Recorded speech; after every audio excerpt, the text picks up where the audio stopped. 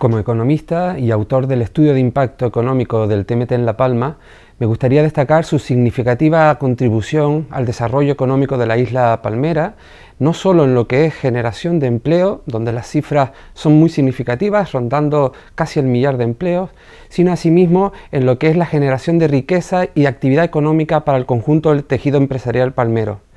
A estos datos más concretos, más económicos, habría que añadir una serie de intangibles que también aportará el TMT a la economía palmera, como es la apuesta por un modelo de desarrollo sostenible y la posibilidad de diversificar el tejido productivo incorporando actividades de alto valor añadido, asimismo respetuosas con el medio ambiente. Por tanto, es por ello por lo que desde el punto de vista económico eh, no hay grandes dudas sobre la relevancia de la contribución del TMT a la economía de la isla.